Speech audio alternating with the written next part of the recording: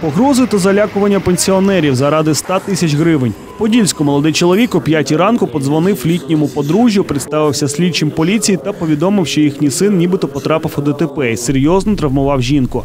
Водночас телефонний співрозмовник погрожував пенсіонерам фізичною розправою щодо їхнього сина і вимагав передати своєму помічникові всі гроші, які є у родини. Налякані батьки виконали всі умови і передали аферистам 100 тисяч гривень.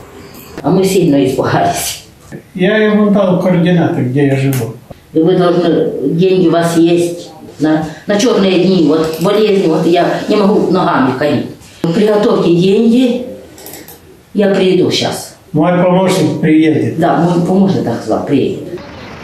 Тільки після інциденту вони дізналися, що з їхнім сином усе гаразд і відразу звернулись до поліції. Вони докладно розповіли копам, що трапилось, та описали прикмети молодиків, яким передали гроші. Пізніше оперативники затримали трьох аферистів, коли ті приїхали по купівлі до супермаркету. Хлопці від 16 до 18 років гроші витратили на оновлення гардеробу. Купили новий одяг, годинники, гаманці й телефони. Зі 100 тисяч у них залишилося близько 30.